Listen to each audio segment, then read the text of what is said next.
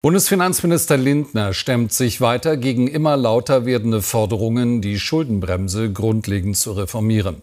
Die Schuldenbremse sei auch eine Inflationsbremse, sagte der FDP-Politiker der ARD. Führende Wirtschaftsforschungsinstitute hatten zuletzt eine Abkehr von der rigiden Sparpolitik empfohlen. Aus ihrer Sicht hätte der Staat dann mehr Spielraum bei Investitionen und es könnte einen Impuls für die stagnierende Wirtschaft geben. FDP-Chef Lindner heute beim NRW-Parteitag in Duisburg. Der Finanzminister verteidigt seinen Kurs in der Haushaltspolitik und sein Festhalten an der Schuldenbremse.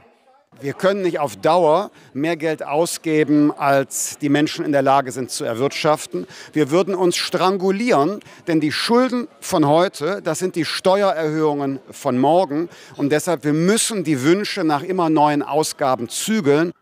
Die Schuldenbremse steht im Grundgesetz. Sie wird seit 2011 angewendet.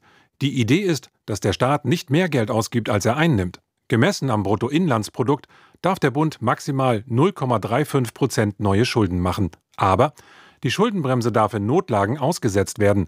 Das können Naturkatastrophen sein oder andere unverschuldete Notlagen wie der Ukraine-Krieg und die Folgen.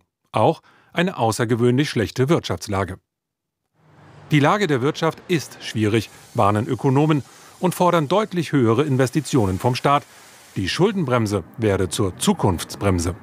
Das Festhalten an der Schuldenbremse in diesen wirtschaftlich schwierigen Zeiten halte ich für einen Fehler, weil diese Schuldenbremse letztlich wichtige Zukunftsinvestitionen verhindert und daher langfristig viele gute Jobs in Deutschland kosten wird. Ökonom Kohls ist nicht gegen die Schuldenbremse, aber eine Reform sei sinnvoll. Nach einer Notlage etwa sollte man auch nur schrittweise wieder zu ihr zurückkehren dürfen. Im Vollzug der Schuldenbremse kann man etwas mehr Spielräume lassen, dann, wenn es wieder um das Wiederscharfstellen geht nach einer gesamtwirtschaftlichen Notlage. Lindner verteidigt die Schuldenbremse bislang weiter. In der FDP erhält er dafür auch heute Rückendeckung.